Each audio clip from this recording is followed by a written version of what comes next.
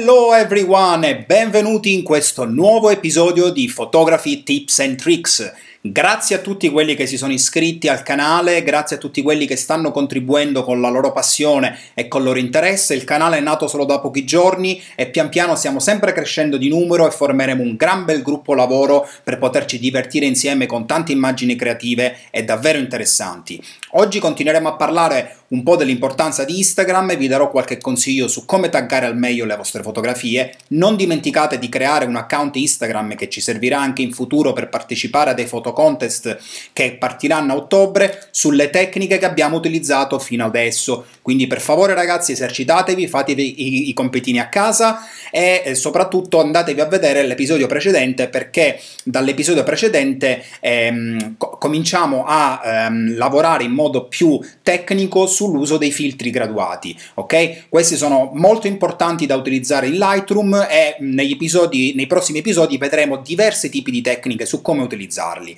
Passeremo poi a um, vedere come importare una fotografia nel catalogo di Lightroom e come organizzare meglio le vostre fotografie e le vostre raccolte, le vostre raccolte fotografiche all'interno del catalogo Lightroom e poi passeremo al progetto vero e proprio di oggi che è il, il Dramatic Black and White che va a utilizzare una tecnica eh, che ho studiato um, da fotografi internazionali all'Adobe Academy di Los Angeles che si chiama Dodging and Burning. Ok? Questa tecnica utilizza fondamentalmente i filtri graduati di tipo circolare. Quindi ragazzi, se siete pronti, andiamo e seguitemi. Prima di cominciare il nostro progetto My Dramatic Black and White Volevo continuare a parlarvi di Instagram, dell'importanza di Instagram, questa è la mia pagina di Instagram, potete anche contattarmi qui, qui eh, troverete diverse fotografie che ho effettuato oh, durante i miei ultimi viaggi.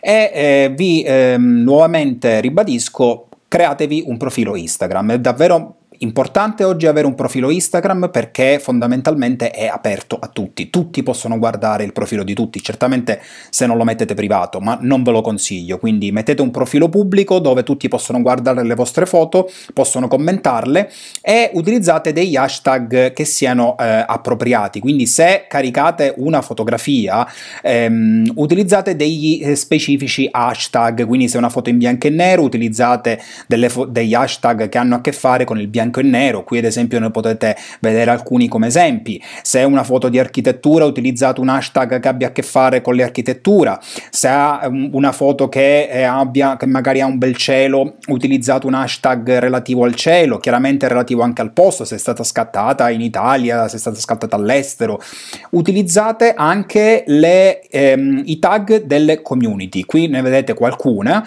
ce ne sono eh, tantissimi, ad esempio Kings All Tags è una community community veramente conosciuta in Italia, ha 41.000 followers e qui ci sono raccolte di tantissime fotografie non solo italiane. Ok ragazzi, quindi esercitatevi, createvi un canale Instagram. Questo è il canale YouTube, molti di voi già lo conoscono, piano piano stiamo crescendo, siamo quasi a 100 iscritti, Aiutatemi per favore a crescerlo, non dimenticate di lasciare i commenti su ogni video, eh, fatemi sapere se c'è qualcosa in particolare di cui vi piacerebbe discutere, eh, condividetelo, eh, parlatene, cercate di aiutarmi, per me è la prima volta che mi avvicino all'Italia con questi tipi di video tutorial completamente in italiano e questo è importante. Ci sono sì sottotitoli in inglese per i miei amici stranieri, ma voglio sottolineare che questo è nato per avvicinarmi di più all'Italia e per dare a voi ragazzi la possibilità di imparare qualcosa che io ho imparato eh, nel, durante i miei eh, anni di studio con fotografi internazionali e all'estero. Ok? Bene, detto questo passerei subito all'interno di Lightroom e andiamo a vedere oggi come importare una fotografia a Lightroom. Seguitemi! Bene, siamo all'interno della sezione libreria di Lightroom e eh, sulla sinistra um, voi sicuramente avete un menu a tendina del genere, qui in inglese è come Navigator, eh, indicato come Navigator e all'interno um, nel sottomenu avete il menu delle vostre cartelle e dei dispositivi che attualmente sono connessi eh, al vostro Lightroom. Eh, quando c'è questo piccolo segnalino verde significa che il dispositivo è attivo e connesso al eh, catalogo Lightroom. Come vedete qui ho un, um, un diciamo, Uh, un rettangolino uh, che è spento perché uh, la mia um, penna pendrive è attualmente non connessa al catalogo Lightroom. Um, quindi qua ad esempio eh, nel mio caso ho il mio hard disk principale, un hard disk esterno è il mio server eh, NAS. Ehm, come funziona il menu libreria? Bene ragazzi, io andrò a spiegarvi le cose veramente semplici eh, che mh, mm, potete utilizzare giornalmente nel, eh, nel vostro Lightroom e vi aiuterà ad organizzare il vostro lavoro, le vostre cartelle con tutte le vostre fotografie in modo molto molto eh, preciso e molto ordinato, ok? Quindi facciamo un esempio, um, siete appena rientrati da una passeggiata fuori dove avete fatto tante foto e avete le vostre eh, fotografie all'interno della memory card della macchina fotografica. Inserite la memory card all'interno del vostro computer, nel lettore di memory card, e scaricate le fotografie creando una cartella sul desktop. Lo potete, potete chiamarla come volete, Ehm, una volta che queste, le vostre fotografie, fotografie saranno all'interno di una cartella che avete creato sul desktop, andate in Lightroom e utilizzate la funzione importa. Cliccando sulla eh, funzione importa vi si aprirà questa pagina e una volta eh, aperta questa pagina ricordatevi questa regoletta semplice. Il menu importa ed esporta di Lightroom deve essere letto in senso orario partendo verso sinistra, quindi da qui girando verso la fine. Da qui sulla sinistra scegliete da dove importare la vostra fotografia, quindi la sorgente e la destinazione sulla destra. Al centro potete utilizzare diverse opzioni come ad esempio muovere, quindi spostare da una, um, una memoria all'altra, ad esempio dalla vostra memory card direttamente all'interno del catalogo Lightroom, o ad esempio copiarle, quindi significa che le, le fotografie rimarranno sempre all'interno della cartella che avete precedentemente creato su, eh, sul vostro computer e verranno copiate all'interno di Lightroom. ok? Eh, per il momento non utilizziamo le altre eh, due funzioni, quindi soffermatevi sulla funzione move e copy, quindi spostare e copiare. Um, io eh, per semplicità ho creato già una cartella, chiamato, eh, l'ho chiamata YouTube, quindi io clicco sulla cartella, quindi di, come dicevo prima avete sicuramente un catalogo del genere, quindi scegliete il, ehm, la sorgente, quindi dove avete voi scaricato le vostre fotografie. Io ho creato questa cartella che ho chiamato YouTube. Con questo tasto deseleziono tutte le altre che non mi interessano e seleziono ad esempio questa fotografia che è la fotografia del progetto di oggi. Una volta selezionata la fotografia devo eh, decidere cosa fare, se la voglio spostare o la voglio copiare. Ad esempio io scelgo spostare, quindi la fotografia verrà spostata all'interno del catalogo Lightroom.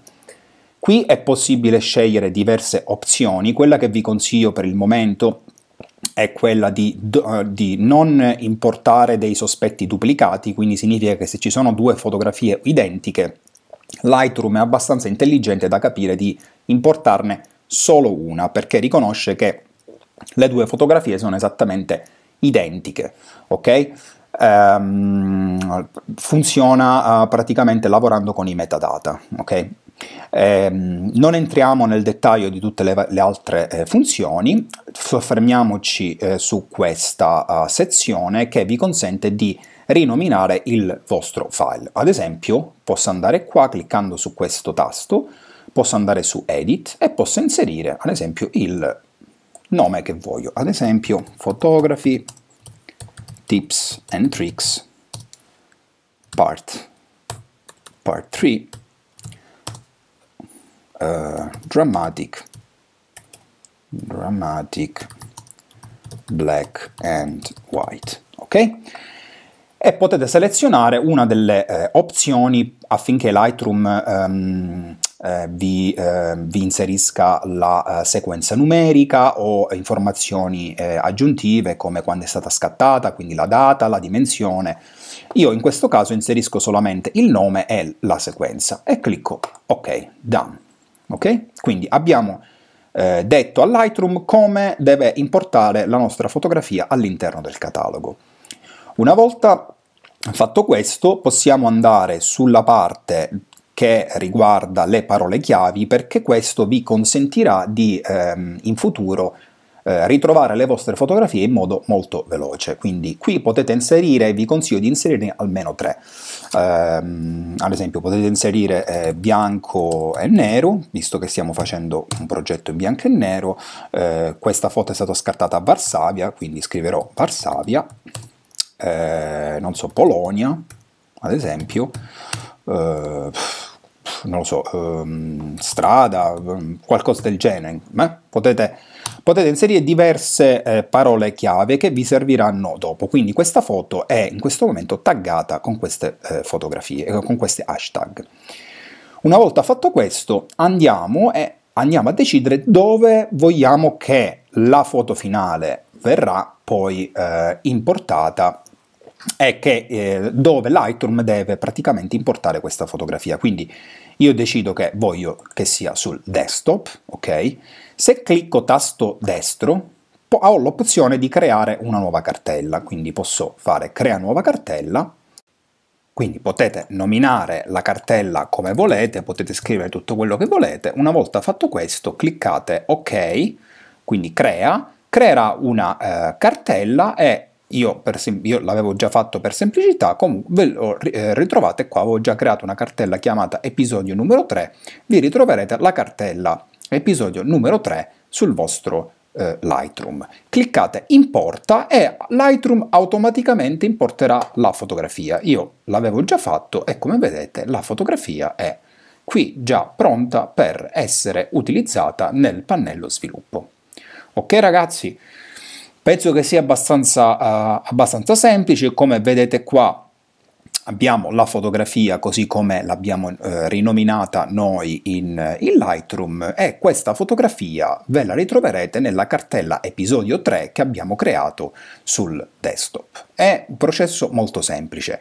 Spero di eh, essere stato chiaro eh, fino adesso, non credo che ci sia nulla di particolarmente complicato. Una volta che abbiamo la foto nella nostra libreria possiamo fare quello che vuoi, possiamo ad esempio andare nella sezione Collections, è creare ad esempio una nuova collection e la chiamiamo ad esempio Varsavia. Ok? Creiamo la cartella Varsavia all'interno del nostro catalogo e possiamo prendere la foto e fare drag and drop direttamente all'interno della nostra collection Varsavia. Come volete, la fotografia è all'interno della collection. Fondamentale ragazzi, qualsiasi operazione fate tra fotografie o tra cartelle, quindi se spostate foto da una cartella all'altra, dice ok non mi va di più di tenerla su questa cartella, la voglio avere qua su uh, travel, um, travel Photography per esempio, spostate la cartella sempre all'interno di Lightroom, ok? La stessa cosa le fotografie, spostate le fotografie sempre all'interno della vostra libreria Lightroom, mai all'esterno. Perché se erroneamente spostate le fotografie all'esterno del catalogo di Lightroom, Lightroom vi darà un errore perché non troverà più la fotografia ok? Non capirà più dove si trova la fotografia perché l'avete spostata fuori dal catalogo. Quindi vi consiglio di lavorare solo ed esclusivamente all'interno del catalogo, del catalogo Lightroom. Ok ragazzi, siamo nel modulo sviluppo e se siete pronti, let's rock, ok? Quindi per prima cosa andiamo a resettare tutte le slide, chiudiamo, eh, chiudiamo tutti i vari pannelli che sono aperti, come sapete io a me piace lavorare così, chiudo anche lo strip di sotto per avere la, eh, la foto a pieno, a pieno, schermo. Questa foto è stata scattata um, a ISO 64 a 15 mm f9 a un 2 centesimo di secondo. Ero, non ero neanche su cavalletto, era durante il giorno. Come vedete c'era una luce particolarmente boring, come la chiamo io, quindi diciamo un po' noiosa, i colori sono molto spenti, mm, diciamo i colori non, non erano un granché.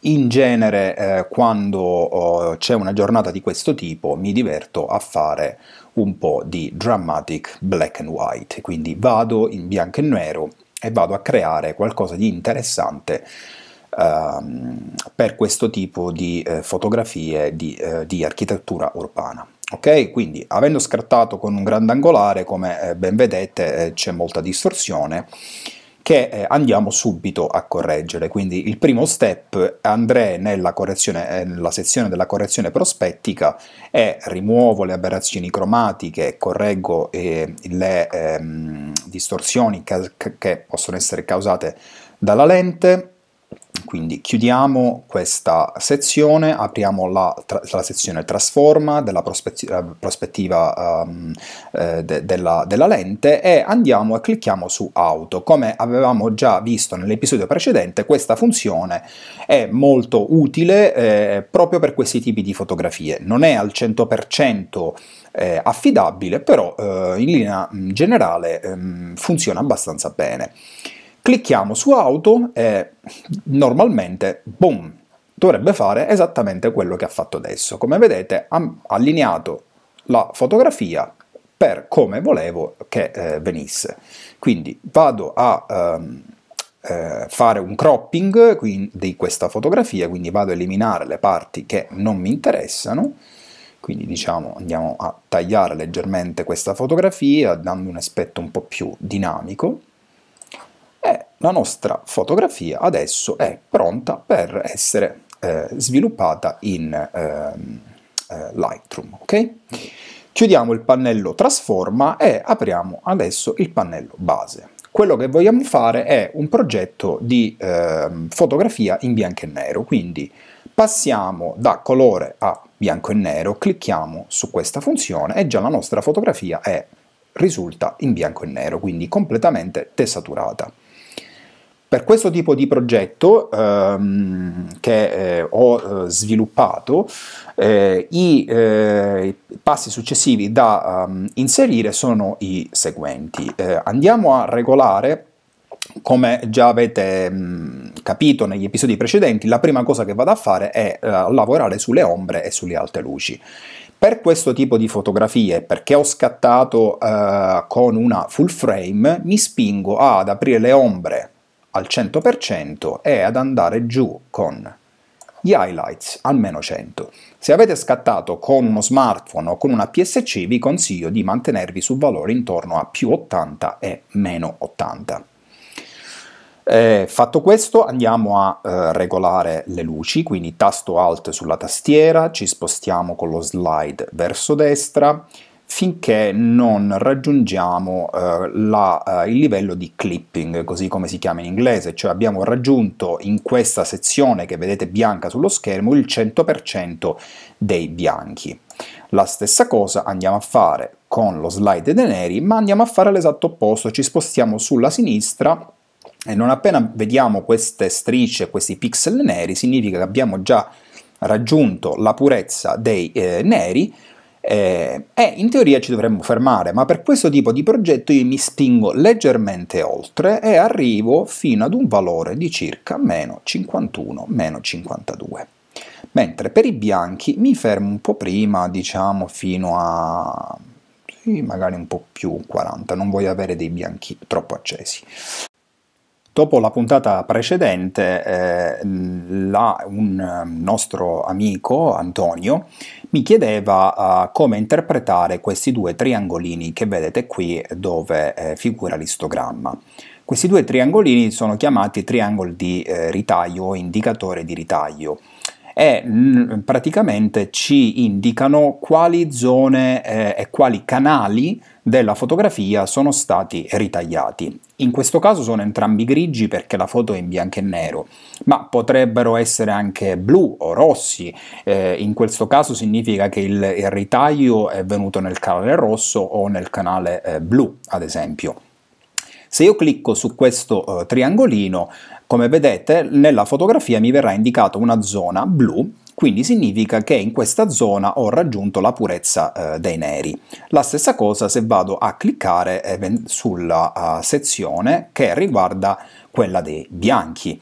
Ma siccome non ci sono e non ho raggiunto il clipping, quindi la purezza dei bianchi, quindi se mi fossi spinto, come vedete, oltre, in questa zona del cielo avrei avuto questa zona rossa che è un segnale di allarme che mi sta dicendo che ho raggiunto in questa zona la purezza dei bianchi, quindi praticamente ho perso delle informazioni lì perché eh, avendo eh, il 100% di bianchi non ci sono informazioni eh, nella nostra fotografia. Quindi questa, questi due triangolini, se attivi, mi ehm, appunto, danno un aiuto per capire se ho raggiunto il clipping o meno. Quindi ritorno nuovamente al valore di prima, che se non ricordo male era eh, circa 40, quindi mi mantengo più o meno, sì, diciamo 37-38 e eh, disattivo nuovamente perché a me non piace lavorare con eh, troppe eh, ehm, indicazioni sulla mia fotografia.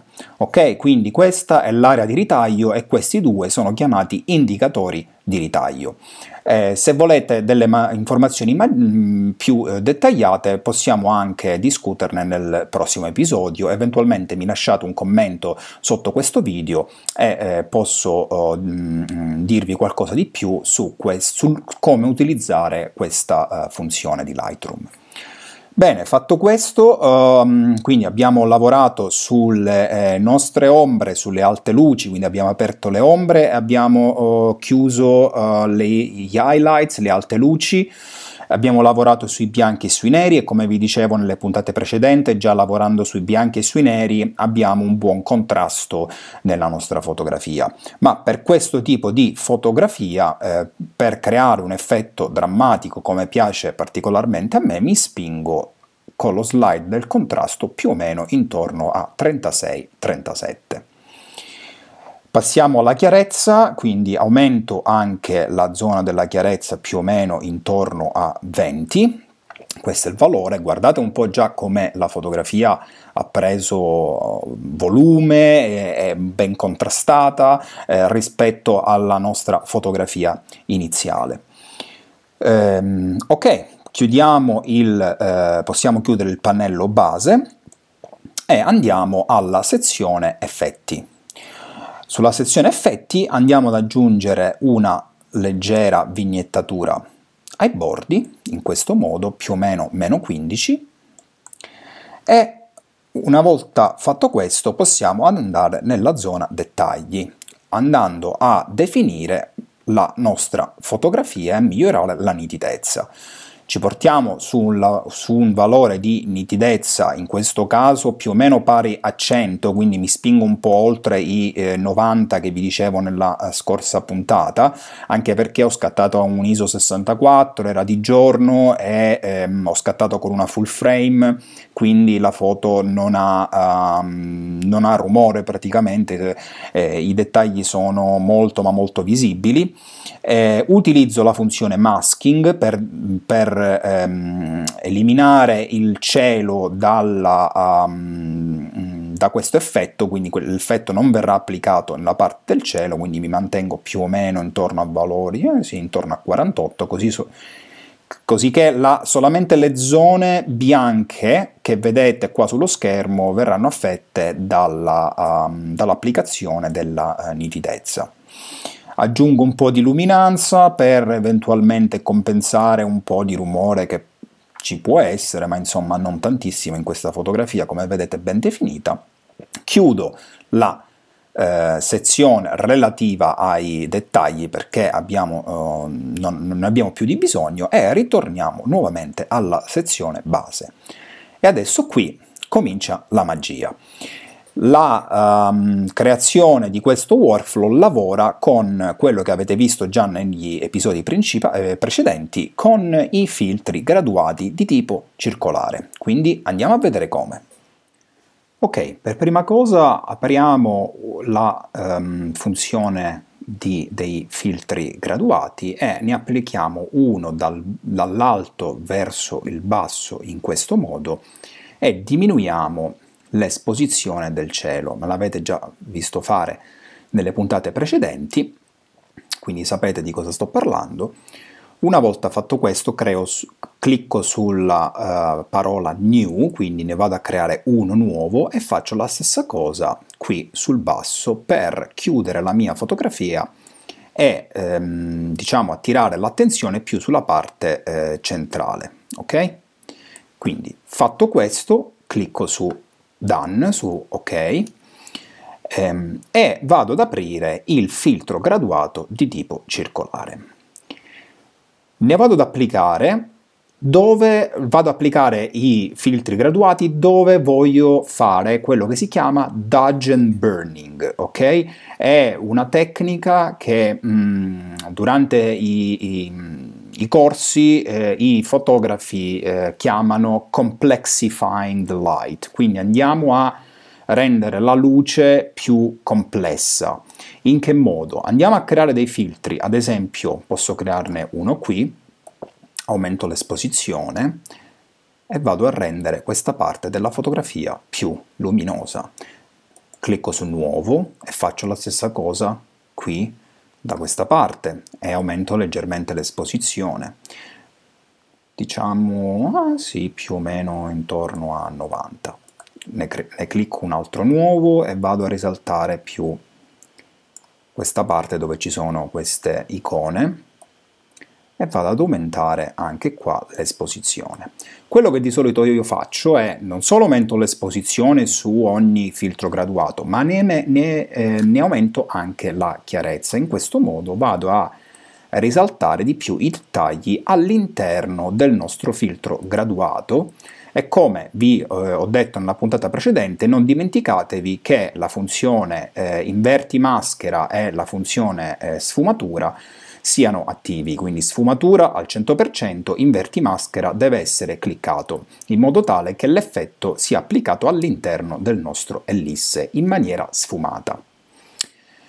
Quindi abbiamo creato uno qui sulla destra, ne abbiamo creato uno qua sulla sinistra, ah, io mi spingerei valori un pochettino più intensi anche eh, questo qua. Quindi posso ritornare su tutti i filtri graduati che ho fatto quante volte voglio e ne creiamo un altro um, possiamo crearne ad esempio un altro bel filtro graduato qui in fondo aumentando l'esposizione diciamo a un più, eh, più 70 e anche la chiarezza, ok?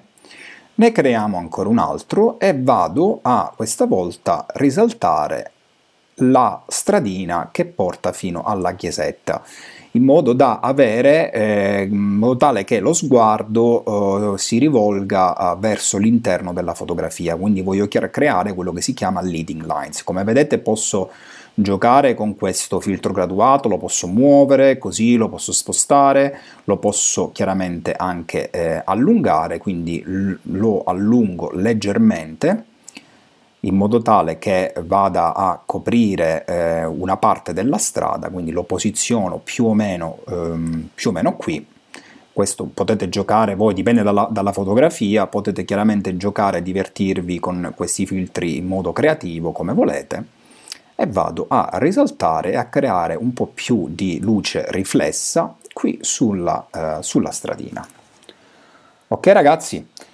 Bene, non entro nei dettagli di tutte le altre funzioni, magari sì, mi spingerei, darei un taglio un po' più uh, panoramico a questa foto, guardate il prima, guardate da quale foto siamo partiti e guardate dove siamo arrivati adesso.